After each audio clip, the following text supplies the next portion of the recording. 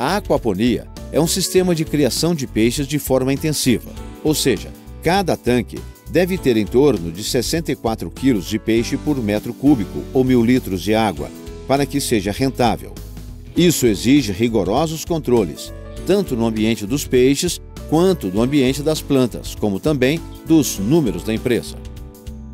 Para dar lucro, o ambiente dos peixes e das plantas devem estar rigorosamente adequados e controlados, propiciando o máximo de conforto a todos os elementos do sistema. Senão, é prejuízo na certa.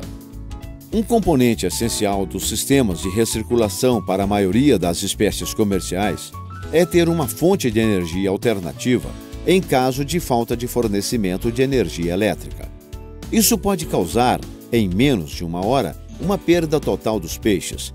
Nestas densidades, vai demorar 20 minutos até que a concentração de oxigênio, antes saturada e ideal, fique abaixo de 2 ppm ou miligrama por litro. E o estresse dos peixes seja percebido. Uma boa gestão produtiva começa com um ótimo planejamento. Não inicie a produção sem antes saber exatamente como vai ser a sua criação, quais hortaliças quer plantar e qual o rendimento financeiro que você pretende ter, o tempo que vai levar para obter lucro e se vai ter verba para sustentar o sistema antes de começar a ter lucro.